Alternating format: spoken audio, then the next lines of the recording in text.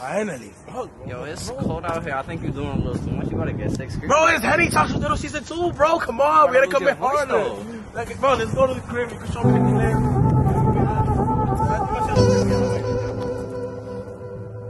Yeah, yeah, yeah. Pensaba que te había olvidado